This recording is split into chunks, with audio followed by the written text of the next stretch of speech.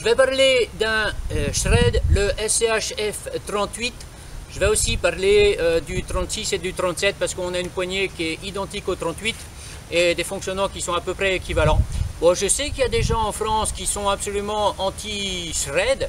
Je ne sais pas exactement pourquoi. Bon, je comprends pourquoi il y a des gens qui n'aiment pas Gerber, par exemple. Parce qu'en français, gerber, bah, oh, ton couteau, il a gerbé. Bref, bon, euh, sur shred, je ne sais pas exactement. Je sais qu'il y a des gens qui n'aiment pas du tout. Euh, et surtout, sans les avoir essayés. Euh, moi, je vais vous donner l'avis là-dessus. Et puis après, bah, c'est à vous de faire, hein, comme vous voulez. C'est que mon avis, encore une fois. Hein.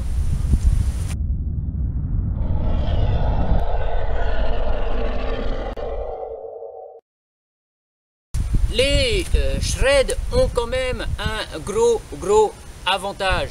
C'est le prix de ça.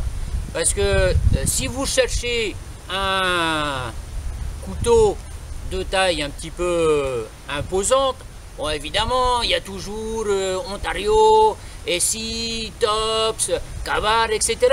Mais pour un SI5 ou pour ce Tops là que vous avez déjà vu, ben, chez Shred, vous en avez 3 ou 4 complets, inclus un fire steel, inclus la pierre, l'étui et puis surtout le couteau. Voilà, qui est en 1095, même matériau que les autres. Après, peut-être que le traitement thermique, il n'est pas exactement pareil.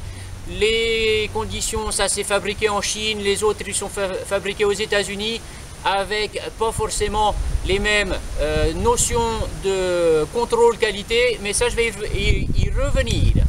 Pour le prix, on a tout ça. Alors oui, c'est pas le meilleur des Fire Steel, oui, c'est pas la meilleure des pierres à aiguiser, oui, c'est pas euh, le meilleur étui, oui, c'est pas le meilleur couteau, mais on a un ensemble complet qui vous permet de commencer sans dépenser trop d'argent, surtout quand vous savez pas trop ce que vous faites, euh, c'est peut-être mieux de dépenser, euh, on va dire, dans les 40 euros dans les 150 euros, quand vous savez pas ce que vous faites. Après, euh, ça peut être des choix, et puis un couteau comme ça, après, qui coûte pas cher, on peut peut-être faire des choses qu'on va pas se permettre avec un couteau qui est 4 fois plus cher. Parce qu'on se dit, oh bah ouais, mais il m'a quand même coûté 4 fois plus cher, donc je vais peut-être pas essayer de l'esquinter. Voilà, donc c'est pas le meilleur des couteaux, mais c'est un bon couteau. Allez, un peu plus en détail. Euh, je vais commencer par euh, l'étui. L'étui, c'est du nylon avec à l'intérieur, au logement du couteau, il y a un insert en plastique qui se trouve ici.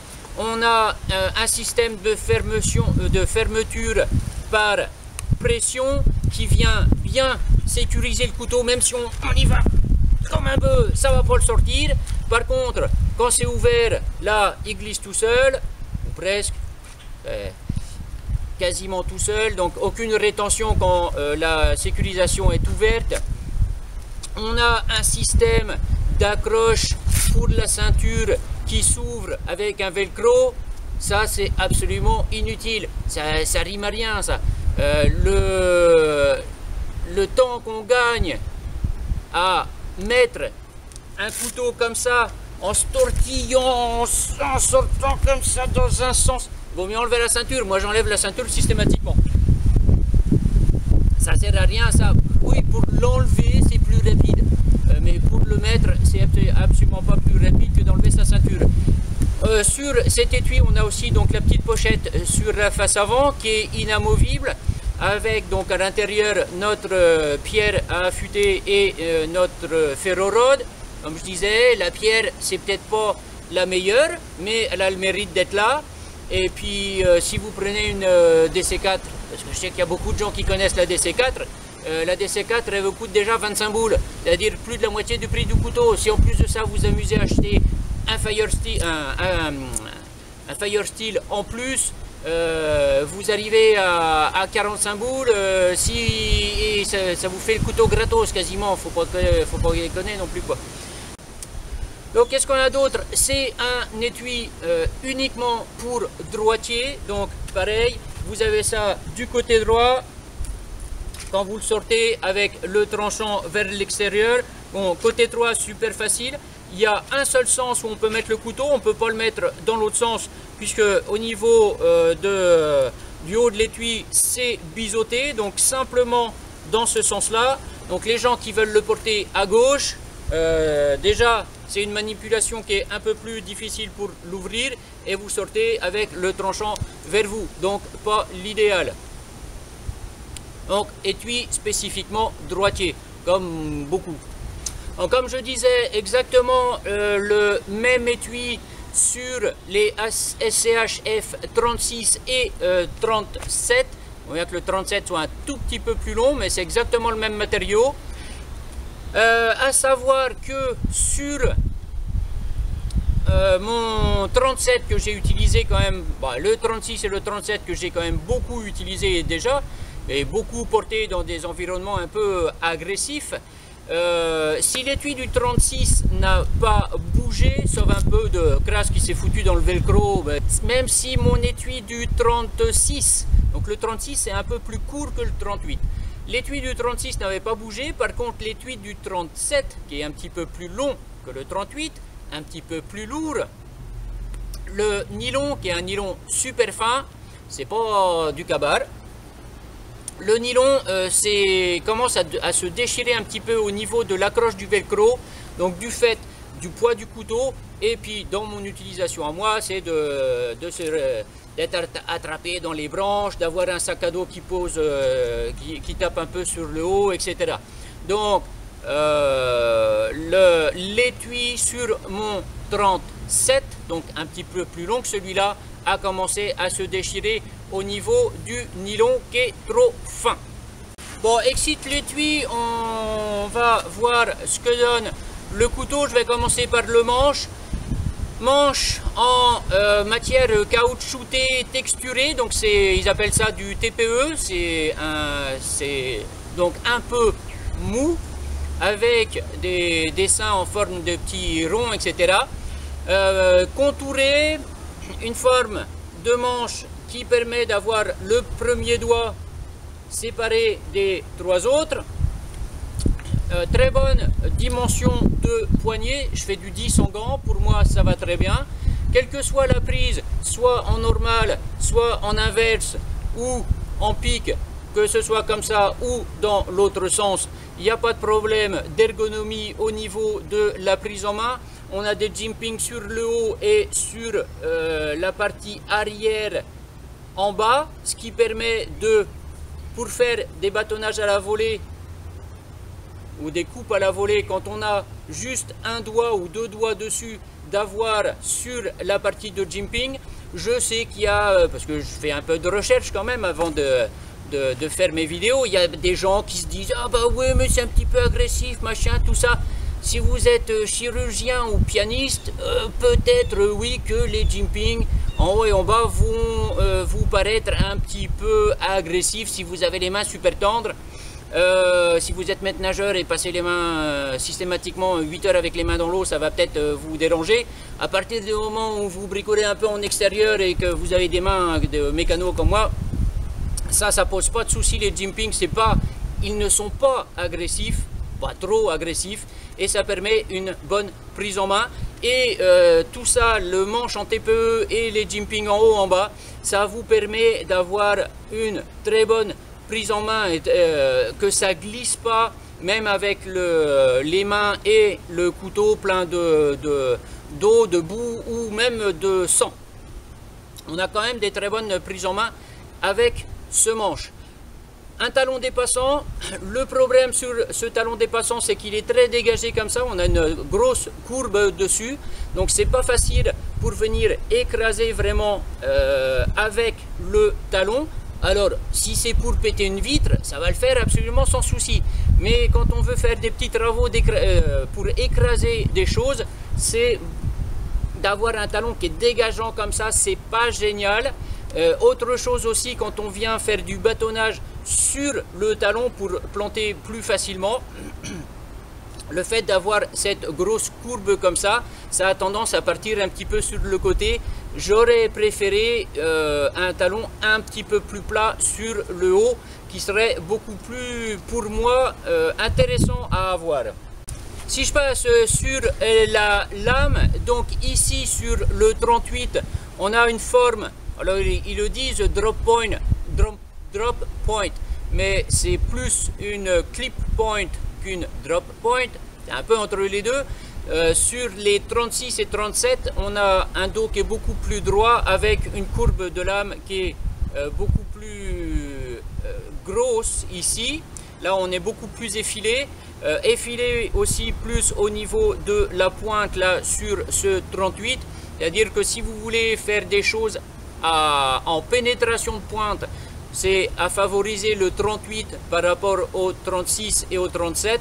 Si vous préférez euh, faire de la découpe, par exemple, l'utiliser en couteau de chasse, si vous avez à faire euh, du, du, dépeçage, plumage, parce que c'est le vrai terme, euh, ou alors de la découpe de viande, c'est plus facile de prendre le 36 ou le 37 qui a une forme un peu plus galbée sur l'avant la, avec une pointe qui sera plus drop que ce façon clip point qui est ici. On a une émouture creuse. Euh, petit défaut donc, parce que ce couteau quand même a certains défauts, euh, mais si on regarde en fait bien la lame comme ça, on voit que l'émouture elle n'est pas égale d'un côté et, et de l'autre. Il y a un côté où l'émouture a été taillée un millimètre plus loin que de l'autre côté. C'est un défaut qu'on ne sent pas de toute façon en utilisation normale et ça gêne absolument rien au niveau de les coupes.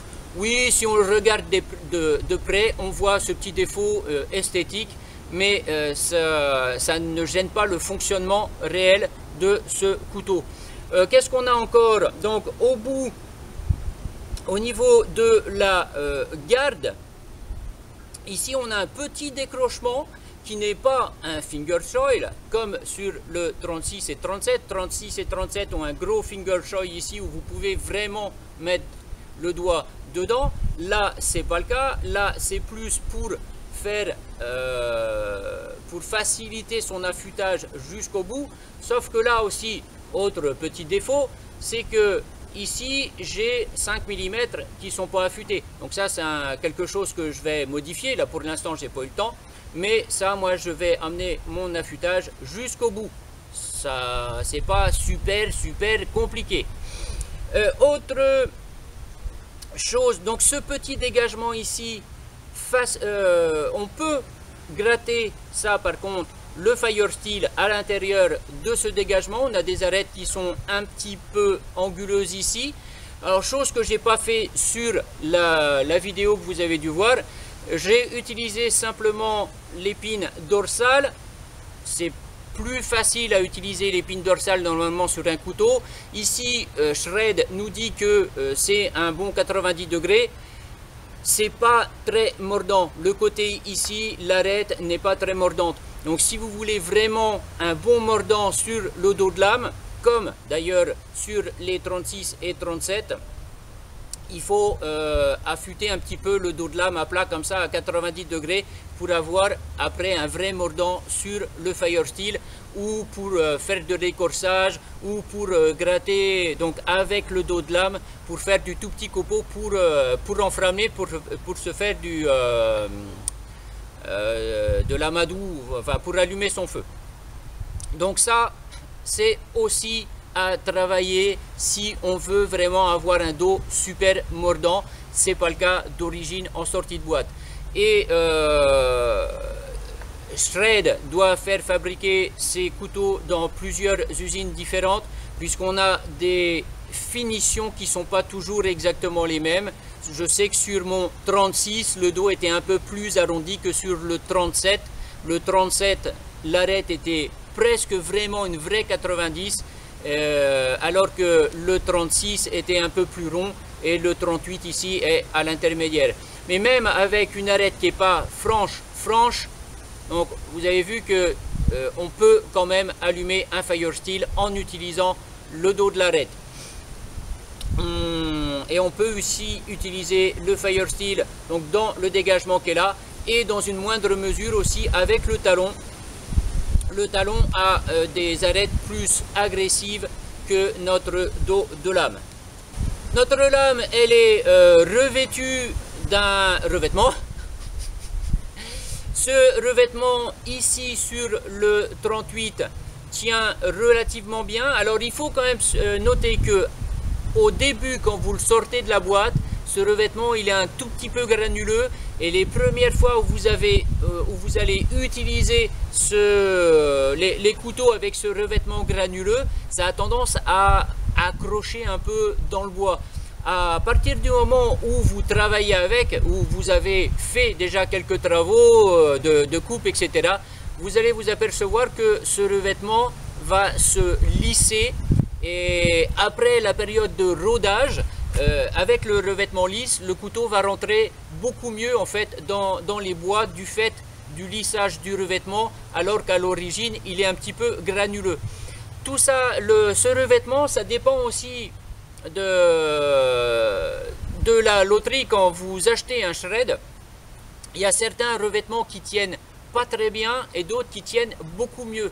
Là sur ce 38, il tient pas mal. Euh, j'ai de la patine au niveau euh, des arêtes, ce qui est tout à fait normal, donc ça a complètement enlevé ce revêtement. Mais sur mon 36 par exemple, j'ai certains endroits où le revêtement chip complètement, ça, fait des écailles et les écailles se barrent. Et sur mon 37, donc un peu plus grand, euh, j'ai pas ce problème aussi euh, sur ce revêtement. Le revêtement du 37 tient aussi bien que mon revêtement du 38. Mais voilà, chez Shred, ça peut arriver d'avoir un revêtement qui s'écaille un petit peu. Euh, après, le revêtement, il est surtout là après la fabrication jusqu'à l'utilisation de, de la personne. À partir du moment, quel que soit le couteau, quand vous l'utilisez beaucoup, que ce soit sur du cabar ou sur du SI ou sur du Ontario ou, tout, ou, les tops ou tous les revêtements, ils vont finir par se bouffer. C'est normal, c'est simplement une, une, peinture ou une résine et ça va finir par se bouffer. Donc c'est pas non plus catastrophique d'avoir euh, certains endroits où le, le revêtement se barre. De toute façon, c'est du 10,95, donc ça s'entretient, ça se laisse gras pour pas que ça rouille. Après, qu'on ait le revêtement ou pas le revêtement, ça change pas énormément. Il y a aussi des gens qui vont faire de la customisation sur leur, couteau et virer justement tout, euh, tout ce revêtement. Je conseille pas trop quand même sur du 10,95 qui rouille, parce que sauf si vous l'avez dans une vitrine, si vous l'utilisez un peu, ça, ça, va vous demander plus d'entretien s'il n'y a pas le revêtement dessus.